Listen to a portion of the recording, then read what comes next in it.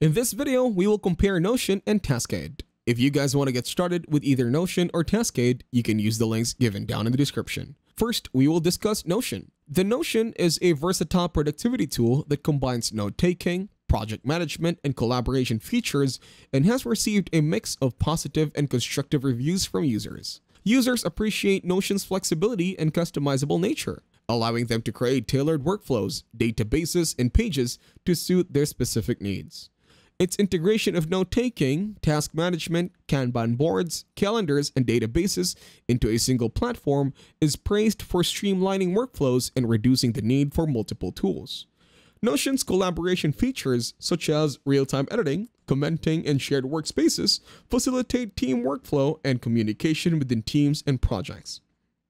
Users benefit from a thriving community that shares templates, tips, and best practices, enhancing the platform's usability and providing inspiration for new workflows.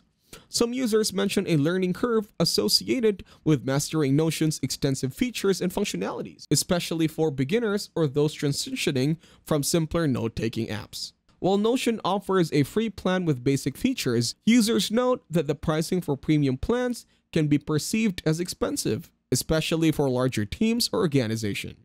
Notion offers a free plan at $0, Plus at $8, Business at $15 per seat per month, and Enterprise at a custom price.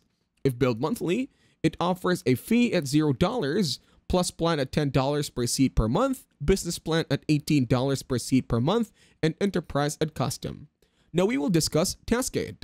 Taskade, a platform for task management, collaboration, and note-taking, has received generally positive reviews from users. Users appreciate Taskade's simple and intuitive interface, making it easy to create, organize, and manage tasks, projects, and notes.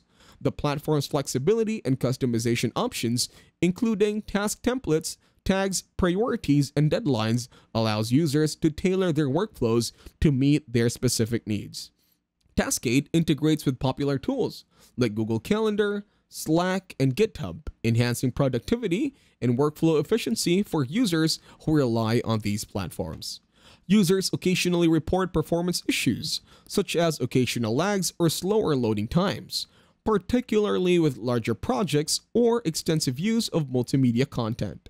While Taskade is generally user-friendly, new users may experience a learning curve, especially when exploring the platform's more advanced features or customization content.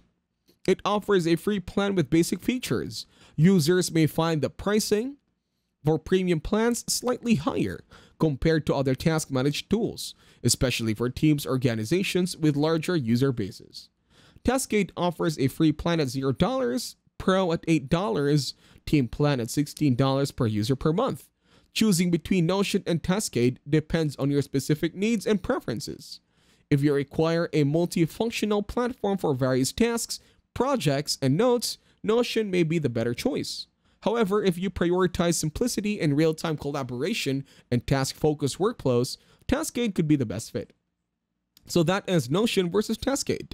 Make sure to use the links given down in the description to get started with either Notion or Taskade.